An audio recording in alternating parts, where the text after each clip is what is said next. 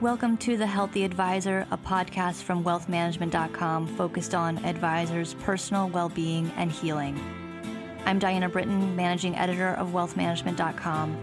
And in this podcast, we explore some of the struggles and personal development issues facing advisors and financial services professionals, and how to get to a place of healing for mind, body, and spirit.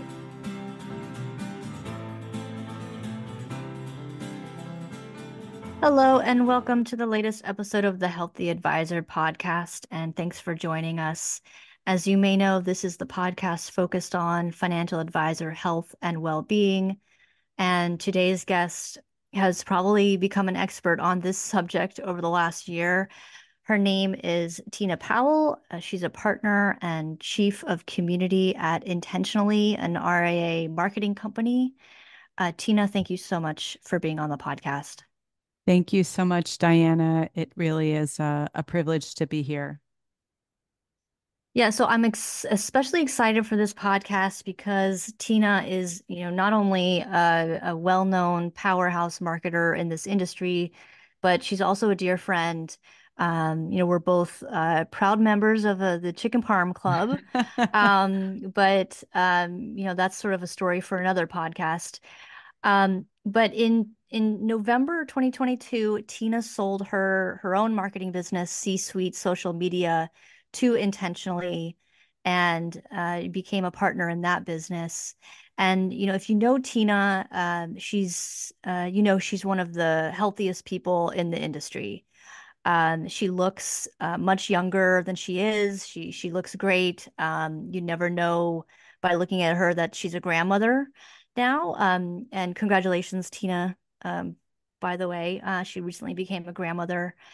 Um, she rides horses uh, does regular cardio workouts, um, you know, much more than I do. Um, and, you know, overall, she's just in great shape.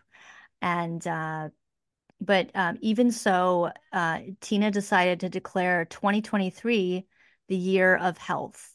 And on MLK Day last uh, in 2023, January 16th, she paid for a full body scan at the Princeton Longevity Center and she left the center that day with a diagnosis of a tumor on her lung.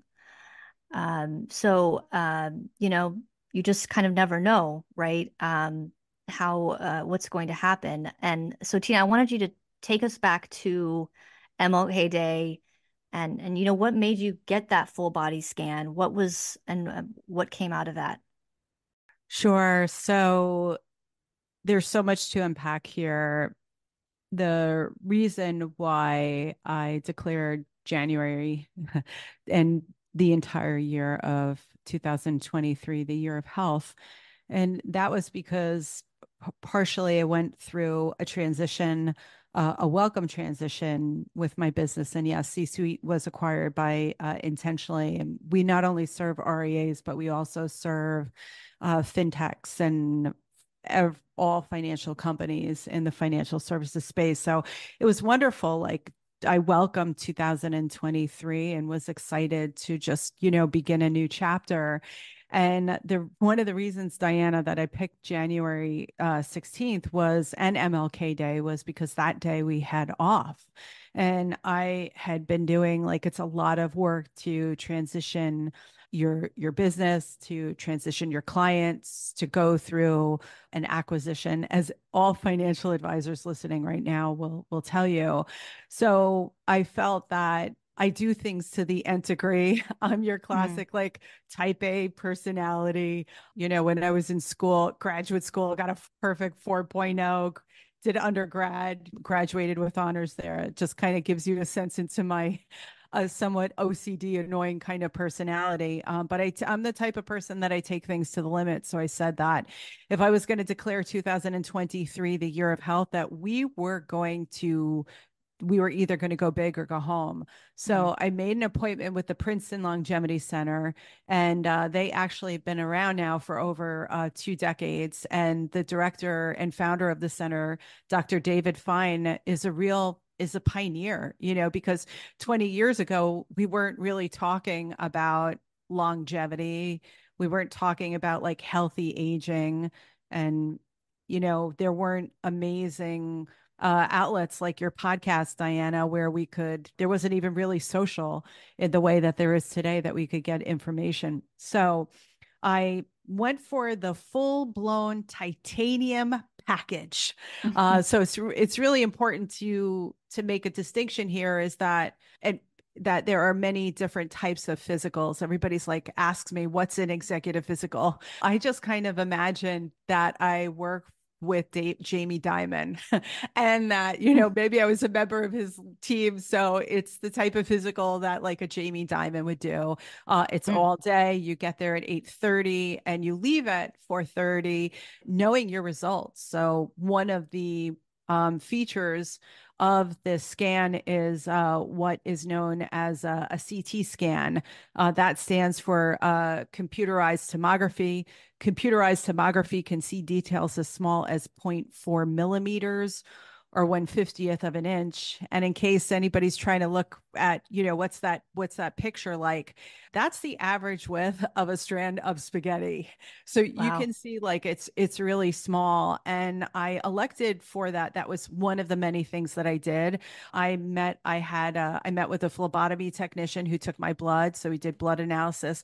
Uh, the ekg tech uh, hooked me up to the treadmill. Another tech tech person put me in this like machine that measured my body fat composition like you name it i did it and the computerized tomography the ct scan is the big like it's the big kahuna it it, mm. it was like you know walking into that room was um, daunting. It's a huge piece of technology and and machinery. And I remember being ushered to the hall, and the first thing that you see is this like big like this pane of glass. Like, you know, when Diana, you know, like when you're watching like crime shows and how they have like somebody being interrogated and how there's like glass behind them, right? Yeah. Mm-hmm. So that's kind of what this was. And so there was a technician right to the right of me uh, that put an IV and a fluid known as contrast. What contrast basically does is it goes through your body it's a liquid and you know if there's something there then it, it lights up so there was a technician next to me and a technician behind the glass and I remember like the scan itself was really easy, everybody. So don't get nervous about ever having to go for a CT scan. You want to go, you want to welcome it because a CT scan uh, provides stunningly details of all of your organs. So it's your lung, your pancreas, your bladder, in order to detect anything abnormal. And the way that I kind of knew that something was uh, not good was as I was leaving, uh, the technician was escorting me out the hall. And I looked, I looked through the pane of glass and I saw the technician, the other technician she was like hovered over her computer like a commander of a Navy submarine. And I, I tried to make eye contact with her. I could read and feel the emotion on her face. And I just walked out and said, Oh, I just mm. I was like, oh no, this is this is not good. And then they brought me back to my waiting room. So they basically give you a dedicated waiting room that has like a little sofa and it has a desk. So, you know, if you want to bring your computer and work. So it took about an hour and then I heard a knock on my door mm-hmm. like that. And then the technician was ready to bring me into David Fein's office, Dr. David Fein. And and I sat across the I sat across the desk from a beautiful mahogany desk, prestigious degrees. Like it was like it was a, a just beautiful surroundings. I felt very calm. He was very, his voice was reassuring. But when it came for the results of the CT scan, he, the he put two two monitors in front of me and then put them in my direction, and they immediately lit up and went from black to white. And he goes, um, he goes, here's a you know picture of your lungs. He's like, this looks good, and he goes, but we discovered a 2.1 centimeter tumor on your right lung and we need you to get this checked out as soon as possible. Denise from our front desk will help you to schedule a PET scan. What does your calendar look like for next mm. week? Mm-hmm. And I was like, I was like, what? Hello, like, are are you kidding? Did a 2.1 centimeter tumor on my right lung? I was I was flabbergasted. I, I, I couldn't even believe it felt like an out of body experience. And I'm like, am I really hit sitting here and he just told me what I thought he told me, and that is a, a 2.1 centimeter tumor on my right lung. Because, you know, like in your intro, Diana, yes, I was riding horses three days a week. I was galloping with Sparky, you know, around the mm. ring. I was doing Latin pelotons, you know, I was in my, on my pelotons, and yes, I'm I'm fit, and I I don't smoke. I did smoke in high school and college for a short time, but I quit like 33 years ago. And so I was like, I I couldn't believe it. It was it was absolutely devastating. It it was just like a scene you see out of a movie. And I've listened to your podcast before, Diana, many times. and it's even an out of body experience being on it right now because I never in a million years like would know that, you know, number one, I would get the diagnosis of lung cancer um, specifically lung cancer, stage B, non small cell lung cancer, L858R, uh, exon 21. I know that's a lot of acronyms for our, for our, our financial advisors out there. Um, but, you know, they, my, uh, they put my, um, tumor through through a test so they were able actually to diagnose what kind of lung cancer it was which by the way you know, part of the punchline was that it was related to environmental exposure like radon. So my oncologist was like, "Oh, Tina, we've got some good news for you." And uh, you know, you try to find humor. You you try to find the light. Uh, you know, you look for all signs of like light and positivity when you have a cancer diagnosis. And said of all the stages of all the types of lung cancer, that this was the type to get um, because it was very treatable. Mm. But he said, but it's related. I, I was like, eh, doctor, I, I said to him, um, how, like, how did I pick this up? It's like you, you've had this in your body. He said you could have this in your body for Joshua Sabari, Dr. Joshua Sabari, my oncologist at NYU Langone Health, said that this could have been germinating in my system for like 20 years. And he's like, wow. And he's like, oh, by the way, and he's like, where were you on 9 11? Were you a first responder? Has your home been tested for radon? Where what do you work? Like making sure that i'm not working at like a chemical factory or like a manufacturing facility. Um, because 20% of the cases of lung cancer that are diagnosed are for people who don't smoke, uh, mm. people who have never smoked, like in their life, have picked up a cigarette. So, you know, everybody's familiar with Dana Reeves, Christopher Reeves' wife, who also who passed away from from lung cancer. Dana Reeves wasn't a smoker. So this type of um, this disease is just you know one of the reasons for coming out on your on your podcast and I thank you so much is because I want everybody listening. Like, if there was one thing, there's one thing I learned pretty early, and that is that if you have lungs, you can get lung cancer. It, doesn't matter who you are, and it doesn't matter if you smoke or not. Yeah. And I know, you know, it, this is uh, sort of a fear for a lot of people is just getting cancer in general, you know, sort of like a, a nightmare scenario.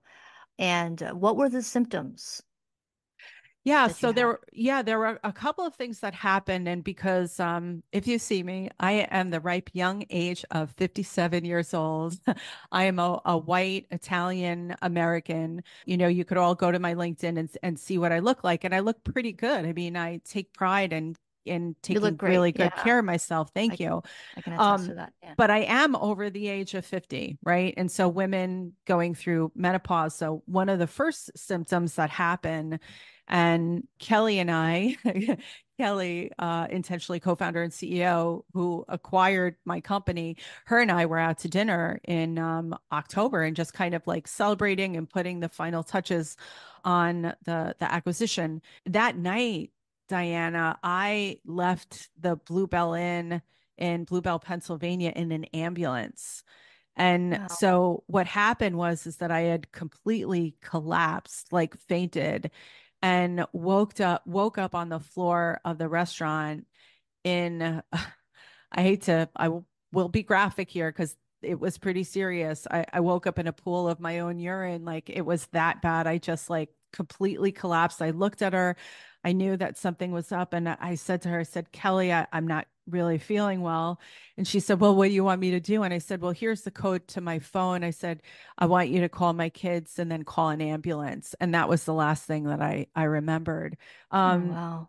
but you know, I thought like, oh, you know, I was doing uh, a water fast, and you know, I was putting like I was already giving it an excuse. The the other thing that happened is that I noticed like very very subtly, like I noticed my endurance riding horses, like it was somewhat compromised, like just a little bit.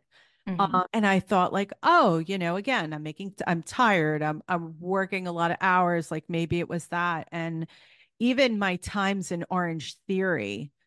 So, you know, we all, those of us who belong to Orange Theory, there are these, there are these periodic challenges. And so what's really cool about Orange Theory is it goes to your phone. So like my times on my rowing were a little bit longer, but I was like, oh, I, am getting older. I'm like of that of that age, and yeah. um, so it, they were really they were like a combination of signs and and symptoms. But what really made me do the scan was something that was not medically related at all and that was back in January of last year. Kelly said uh, it was her 40th birthday, and we were celebrating. She's like, "You know what I want for my 40th?" She goes, "You guys are going to think I'm crazy. I want one of those full body scans." And and uh, Diana, I had looked at looked at it. I called Princeton Longevity Center and looked into it after the pandemic, but decided not to do it because it was too expensive and not a dime was covered by insurance. But as soon as Kelly said that, I swear to God, I knew it was a sign to get checked. And it was like, boom, I called them that day and got the appointment on the 16th. So, lung cancer um, and cancer in general, everybody, is a lot of times you're asymptomatic, meaning you aren't really showing any signs, nothing really out of the ordinary. Even my blood was fine. My blood mm. cell counts were fine. I even did this cancer test on all my blood as part of that workup, as part of that executive physical titanium package. It showed no signs of cancer.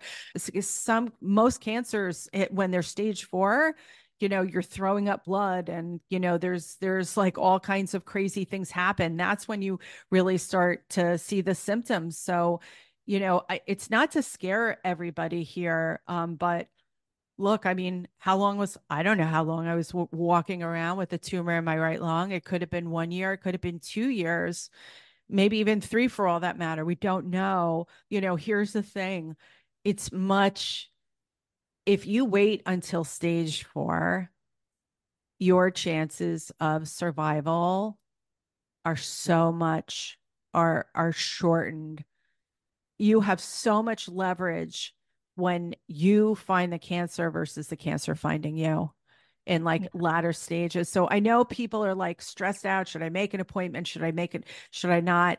I would be sitting here right now if I wasn't proactive you know you want to deal with things on your terms. You don't want to have to be like rushed to a hospital to have emergency surgery to do whatever because you're because something because you're a whatever could be could have a really serious illness at stage 4 your best leverage and your best opportunity is to be proactive and be in front of it. Yeah i mean it's uh that's such an important message that we need to listen to our bodies and really prioritize our health. You know, and I, I was actually doing some research about these um, scans, and I know like one company that does it is called Prenuvo, and they charge about twenty five hundred for a full body scan. Um, you can get a, a torso scan for about a thousand dollars. Um, so you know, I mean, that's somewhat affordable. Um, and uh, I mean, theirs is is a little bit different. It's more of is the MRI full body MRI scan which stands for magnetic resonance imaging. I mean, uh, something that I read is that you know um, the the medical community is not quite on board yet with these scans, and argue that like the benefits of them won't outweigh the risks of of chasing down um, you know, a likely benign finding with invasive follow up procedures. I mean, so that I don't know, that was that surprised me but it's it is like a testament to you have to be your own advocate your own healthcare advocate and because even the your doctor might even recommend you not do it so i don't know it's it's um that was just surprising to me but i know that um you know, you told me that from, you know, about January of this of of 2023 to September, your life was terrifying. And I know you went through three phases of treatment um, over that time.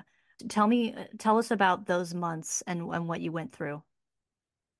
Sure. So we'll go back to getting the diagnosis and what happened after that, which was an incredible chain of events. So after the CT scan, they uh, the next thing that I did uh, again, Dr. David Fein saying Denise, will, Denise from our front desk will ha- help you to set up a PET scan, and the, the PET scan was the actual test that confirmed that indeed it was cancer. Every cancer, every cancer patient is different. Every type of uh, patient patient care is it's like like portfolio management for some advisors listening like it's custom to you. So depending on where your tumor is located i was in really great physical shape diana. So that meant that uh, they could perform surgery. So they took a look at my case um, they presented it to a tumor board something really interesting that happens at hospitals and, and research hospitals like nyu langone where by the way i immediately i immediately entered a, a research cohort and told them that they could have extra cells and whatever they wanted, and that I want to be part of their uh, research to find cures to cancer. And so my oncologist, Dr. Joshua Sabari, said that I would, I mapped out my treatment and said that I would need to have a robotic lobectomy procedure. And a, a lobectomy is a procedure that would remove part of my right lung so the way that your right lung is organized is basically three chambers. Where my tumor were locate was located was on the uppermost um, chamber near my clavicle, and mm-hmm. so you know towards that direction. And he uh, said that we would do that first, and then after that, and then again, depending on what they find when they go in there, there was a procedure before the robotic lobectomy, and uh, the robotic lobectomy is designed to be minimally invasive compared with lobectomy procedures in, in years past. So I have an incision that goes from the front of my rib cage all the way to my back. So it's like five incisions. It's not all connected like it used to be. It's like ch- ch- ch- like a almost like big stitches and at the beginning when this happened, it looked like I was like in a shark attack because it follows like a circular geometric pattern. So the the first part was getting that lobectomy, robotic lobectomy, which was wild. And going into that procedure was terrifying because I didn't know how I would feel. I had 100% of my lung capacity that was measured and calibrated in this like sound studio kind of thing that I was in. So I didn't know how I was going to feel afterwards. Like, was I going to need oxygen? Was I going to be able to breathe? Was I going to be able to walk up a flight of stairs, get on a horse again, get on a Peloton again, actually work and, you know, and do my job, be, be podcasting again? Like all of these mm-hmm. things were kind of up in the air. So I never knew anybody that had a robotic lobectomy. It's not like, you know, you could put a call out on you could put a call out on social media actually um so but i did join a couple of uh, facebook closed facebook discussion groups to see what um what would that that was going to be like and i still have actually symptoms like although that the scars are healing quite nicely the my part of my rib cage is like still very sensitive and um sensitive to the touch and uh, has a little bit of uh, like this kind of numbing that happens and so he basically said that after that first phase was surgery, getting part of the lung removed, and the next phase after that would be chemo. and that mm. chemo had to follow, it's formulaic for oncology and cancer, that had to be within the four to six weeks after surgery. So I knew like I was like, okay, mountain number one is the surgery, mountain number two is the chemo. And the chemo was also in itself like terrifying. You hear really nobody from chemo ever says like, "Oh, this was a, a really good experience," and I knew that uh, that it was that it was needed. And yes, a patient has the right, Diana, to say like, "Well, I don't want to do that." You know, there are we've heard of cases of famous people that have elected to do uh, alternative therapies. Like Steve Jobs was a, a, case in point, right? I respect everybody's individual individualism.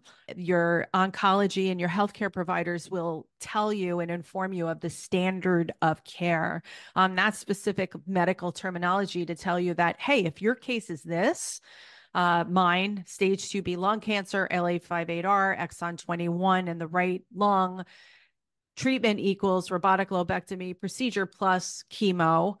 And so we had a discussion with that. So I, I said to my, my uh, oncologist, I said to, oh, and Dr. Amy Kent did my surgery at NYU Langone. By the way, for anybody that's listening, they, she was phenomenal. I credit her and Dr. Sabari with, with saving my life. Mm. So, um, the chemo was wicked you know, it lived up to all expectations.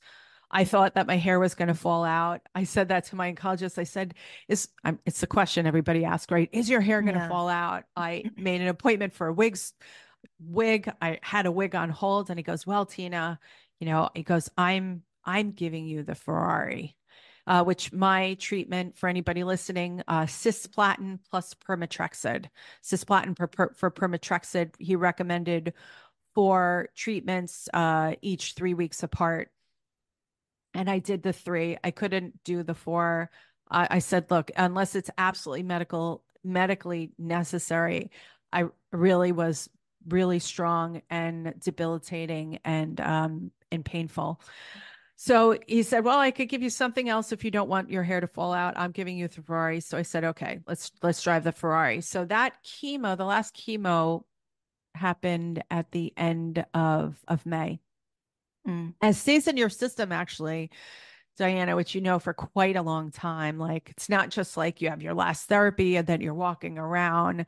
There are some major league side effects that affect your cognitive abilities, your physical abilities. Like having this on top of a surgery, I was like, oh gosh. And I was still full time at work. I mean, Intention.ly gave me a lot of time off and gave me the the the grace. Kelly and Megan, my partners here, um, I I just adore them and will always remember how gracious they and the entire team was, you know, during that treatment. But you know, it was hard to balance everything, and I I wanted to be at work.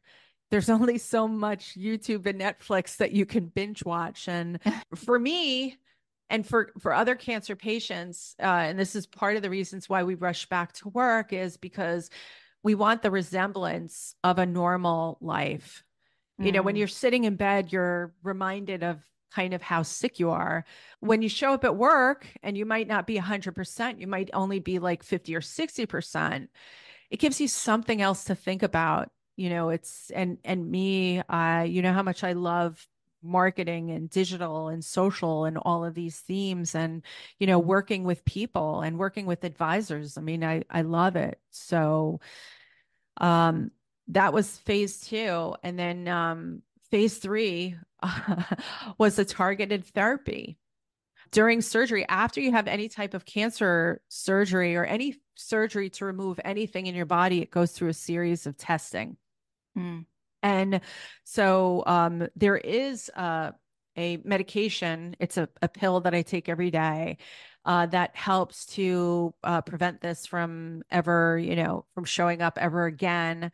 And it's been clinically proven. There's a site called PubMed, which is basically like it's a Google it's a Google ecosystem for all things medical. So you could put in search terms of your your different even your medication and it will you know present the findings and all that. So it has been clinically proven to be effective but at the same time there were there are side effects with that drug. Number one you can die number two you could have a heart attack you know, oh, all gosh. of these things. And I was like, oh, so maybe actually I don't want to go on this. Um, but there's, you know, other things. Again, your health, you you said it best, Diana. You're you're your best advocate. You know, I had to sit down with my internal board of directors and say, okay, my my mother, my my children, Rachel and Dave, Mark, you know, my brother Tony, you know, what was I going to do here? Was I going to take the medication or not take the medication? And and even my oncologist. I had multiple conversations. I moved my oncology team to to UPenn, Dr. Melina Marmarelis here at at Penn Medicine. You know, and I weighed the pros and cons and I said, okay, let's do it. And the philosophy there is it's very Philly like, it's very Eagles like, you know, you throw your best offense, it just you throw your best offense at whatever the, at the problem at hand just like you like you don't wait until a problem shows up. It, you just obliterate it right from the beginning like get out the bazooka and just start you know and so that's what they do. They don't they like they got, got out the bazooka and i said okay so i've been on that medication now since the end of june. So it the reason why diana it was so terrifying is i've gone from okay. So there was stress associated with the with the surgery. Check the mm. box got that. Stress associated with chemo check the box finish that. And then again this targeted therapy there were some horror stories people's nails falling off and you know all kinds of things. And okay we'll just we'll we'll try it. And so i go i'm monitored now uh, every six weeks. Also too there's an effect on the other parts of your body too your your blood cell counts and and whatnot. So terrifying equals the unknown. And you know, I know a lot of advisors and I know a, a lot of your audience, Diana, can relate to the fact that you know when you, there's unknown whether or not it be in your own health or financial markets that causes anxiety and a lot of stress mm-hmm. um so yeah it's it i like the way that my oncology team mapped it out for me and i i allowed myself i said okay tina i'm not going to solve for problems that aren't area here i made a, an intentional effort to just stay in the present and whatever phase i was in whether or not that was the surgery or the chemo or the um, uh, targeted therapy i was not going to worry about this the other stages but only the stage that i was in mm. Well, I love that analogy from from the Eagles. That's great. And you know, I think Tina, a lot of us have um y- you haven't really masked your, you know, the illness and what you've been going through. And you know, why did you sort of decide to go public and and be very public about what you've been going through? I felt a, a responsibility. I felt a responsibility to change the narrative around lung cancer. I was shocked, Diana, that this happened to me. And immediately I went on Instagram and all of a sudden I discovered so many people around the not only the United States, around the world that have this type of diagnosis. And they're people that you see every day. There are people who look fine. There are people who are smiling. There are people that are just like ev- everyday everyday people and lung cancer has gotten such a, a bad rap. It, it's such a shameful type of cancer for people that the the most of the people think that it's it the the medical community has shown like 85 year olds or 80 year olds with you know coughing up blood and with trachs and you know that's i wanted to change the perception of that and i wanted to just wake everybody up the way that i needed a wake up call and say hello mm-hmm. if, if this happened to me this could happen to you and i not to scare everybody diana but to be like there there was be really super proactive about your health there were other cases that i learned of people who were at latter stages of me of my lung cancer because they were told by a doctor, oh, it's the flu. Oh, it's the pandemic. Oh, it's acid reflux, who then were screwed because then they went from like stage two to like stage four. And so I said to myself, it was my own like PSA and I wanted to let everybody know that here, here I am. You're all looking at me and thinking like everything is great and everything is not great. And if I could go around looking somewhat normal and have a tumor inside of me, that that was just a big wake up call for uh, for financial services. So that was that was number one. Uh, another reason which I didn't necessarily have in the back of my head, but that like that started to happen is that it was kind of like a cry for help. Hmm. As that I knew that by putting it out in the universe, you know, and you know, I'm active on social media and I I don't believe that social media should be just a hit reel. And yeah. I felt the responsibility as being whatever you want to call it, social influencer. I wanted everybody to know that my life was not okay, that my life was actually really the actually terrifying, um, and that I was dealing with a lot. I you know there were obviously i put a, a, complete stop to travel and conferences. I didn't want to hide. I didn't want to take my energy that i could use for healing and use it to lie to people to their face mm-hmm. and just being like and again not showing up at events and people saying oh where, where is she? Oh yeah she you know she doesn't she, she couldn't make it or or whatever. I wanted people to know the honest truth that i was dealing with something that was not only utterly terrifying but really utterly unknown to me.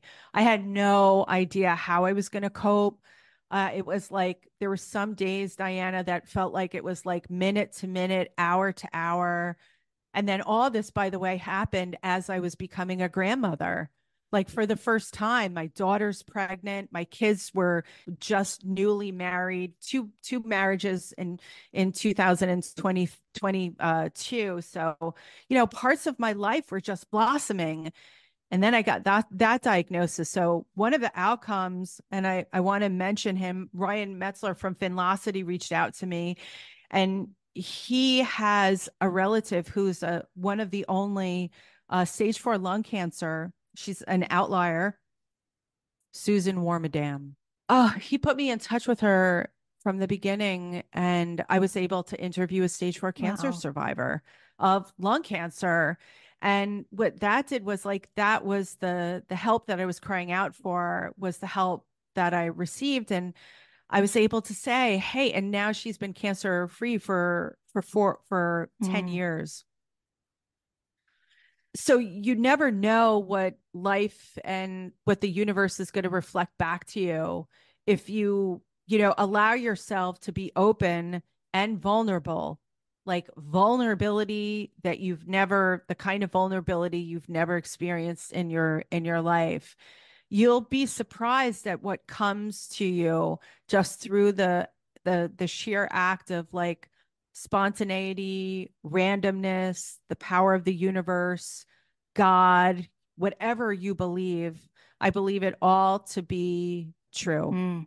wow i i mean I, your story is just such an inspiration, Tina. Are you cancer free now? Do you?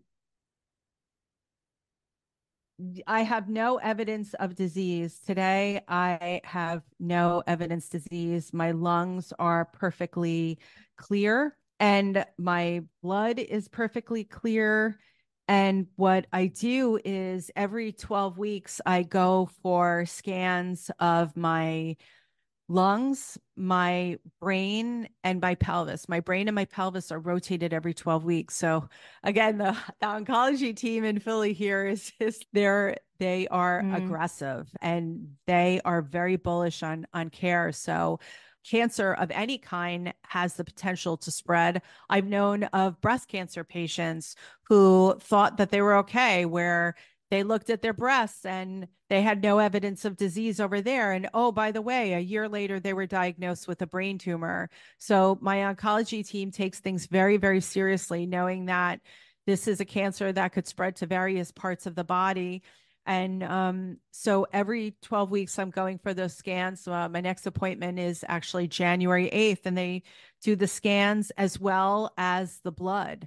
Uh, so th- we're looking at every uh, mile marker available. Yeah, well, I mean that's great news, and and we're just so so thankful, Tina, that you're here with us, and um, I, I'm just really grateful that you that you came on the podcast to share your story. I know it's not easy, you know, kind of rehashing the last year that you've been through and um, that that tough diagnosis and and treatment and some of the terrifying things you've you've gone through. Um, I think this is just a I do think it's a great message for our listeners because especially as we're starting 2024 right now this episode is going to air in January and folks are thinking about uh, you know, kind of taking a step back and looking at life from a more holistic standpoint. You know, what do I want 2024 to look like? Do I want to prioritize my health? Do I want to prioritize my finances, my work? You know, and folks are thinking about resolutions. So I think this is a great thing to think about, not only think about, but to take action on, right? To be proactive. And there are so many resources out there. But I mean, I could talk about this all day with you, Tina. I, I, I, and you know, you know, I love you. I'm, I'm just huge, huge fan of yours. But uh, we're we're just about out of time, so I just need to uh, want to wrap up. But I'd like to thank uh, thank you, Tina, for for being on the podcast and and sharing your story with me. Thank you so much. Diana, thank you so much for having me on the podcast. Surprising to be here. And I've always been a fan of yours and the work that you're doing with the Healthy Advisor. And now more than ever, I can tell you that the work that you're doing has impacted me throughout the years. And I'm just so grateful for the opportunity and praise you uh, and this podcast for all that you're you're doing right now to lift us all up. Thank you so much. Yeah, I mean, it's just it's great to have to surround yourself with folks that you know have gone through something similar to you, uh, and I'm I'm hoping that's um, brings comfort and support to people who are listening to the podcast. Um, if you'd like to reach out to Tina, uh, you can reach her at tina at growintentionally.com. And you can also look her up on LinkedIn. If you have a, a, struggle yourself and you wish to share your experiences and help others in similar situations, please feel free to reach out to me at diana.britton at informa.com. I'd like to thank you for listening to The Healthy Advisor.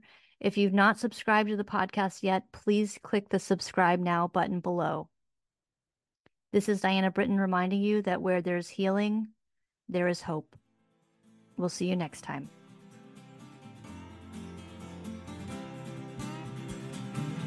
Thank you for listening to The Healthy Advisor, a podcast focused on advisors' personal well being and healing.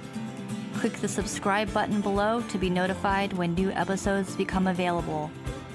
The information covered and posted represents the views and opinions of the guest and does not necessarily represent the views or opinions of wealthmanagement.com. The content has been made available for informational and educational purposes only. The content is not intended to be a substitute for professional advice. Always seek the advice of your healthcare provider with any questions you may have regarding your particular situation.